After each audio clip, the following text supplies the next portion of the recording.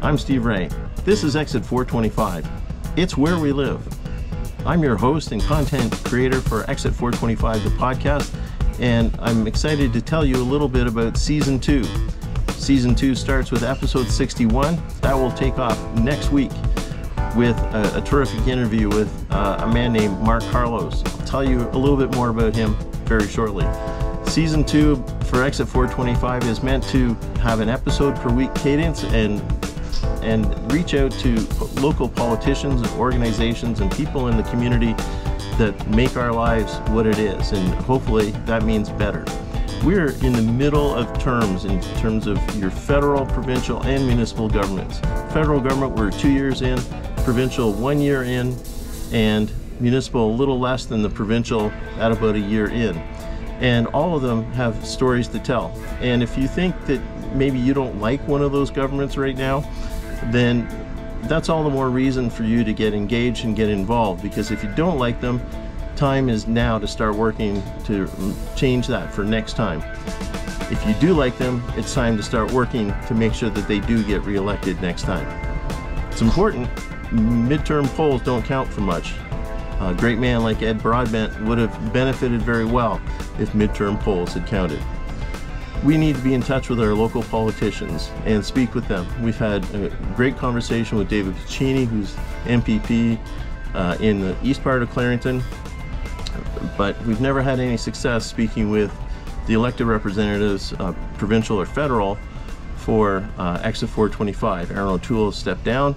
Todd McCarthy, uh, I've not had any luck even getting an unrecorded meeting with him. Uh, he had suggested a time his office said that wasn't going to work, and I haven't heard back from them in a couple of months at this point.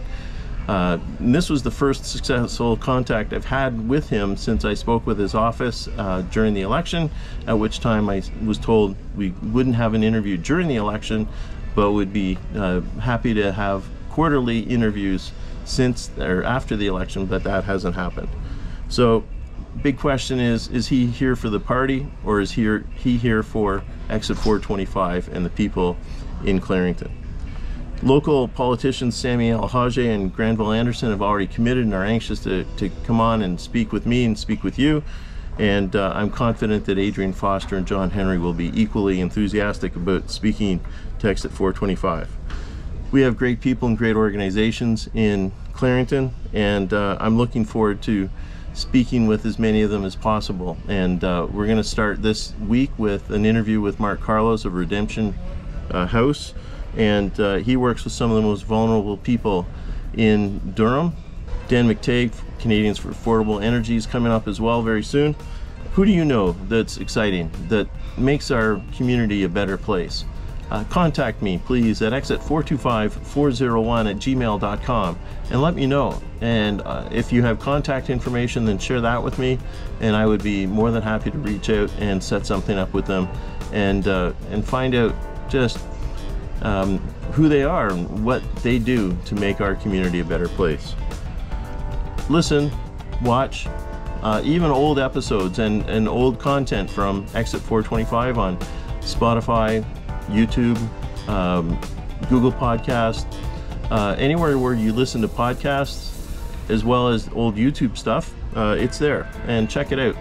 New content will be available on all the regular podcast platforms, but also I will be uh, recording the interviews so that they can be seen on YouTube. Always, we've got Facebook. Please like the page and join the group so that we can start a discussion there. Thank you very much for listening to this. I look forward to uh, working with you and communicating with you throughout the season to make Exit 425 uh, all about our community. Thank you very much. Exit 425, it's where we live.